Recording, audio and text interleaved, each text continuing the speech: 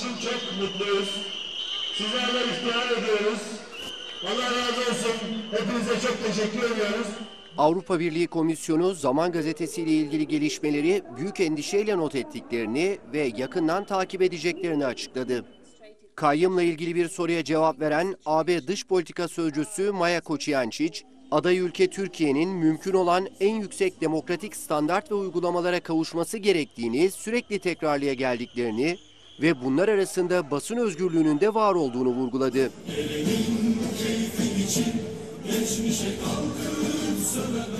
Birleşmiş Milletler'de Zaman Gazetesi'ne yapılan kayyım atamasına tepki gösterdi. Birleşmiş Milletler açıklamasında basının görevini yapmasına yönelik her türlü kısıtlamaya karşı çıktıkları belirtildi.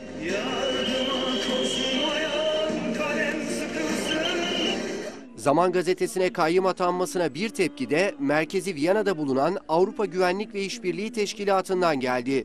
Agit, kararın medyayı sindirmeye yönelik bir adım olduğunu vurguladı. Avrupa Parlamentosu Başkan Yardımcısı Alexander Graf Lambsdorff da Zaman Gazetesi'ne kayyım atanması kararını Türkiye'deki basın özgürlüğüne yeniden darbe sözleriyle değerlendirdi. Uluslararası Af Örgütü de yaptığı basın açıklamasında bugünün hükümeti Zaman Gazetesi'ne el koyarak muhalif basına yönelik can sıkıcı saldırılarının son perdesini de ortaya koyduğu ifadelerine yer verdi. Af örgütü ise Cumhurbaşkanı Erdoğan'ın hükümeti muhalif seslere saldırarak ve kontrol altına almaya çalışarak insan haklarını hiçe sayıyor dedi.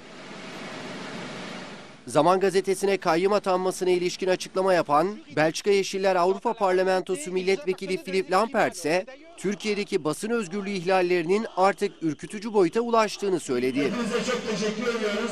Bu sevda burada bitmez. Bu şarkı burada asla bitmez.